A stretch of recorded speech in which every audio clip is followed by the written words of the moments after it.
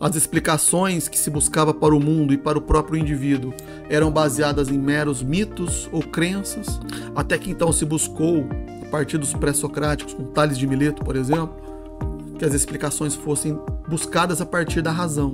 E aí com Sócrates ele vai indagar por que, que nós devemos, por quê, por quê que nós devemos buscar a, o conhecimento? Por que, que nós devemos ter o amor à sabedoria? Por que, que nós devemos praticar a filosofia? Para nos tornarmos seres melhores, indivíduos melhores, para buscarmos o nosso autoconhecimento.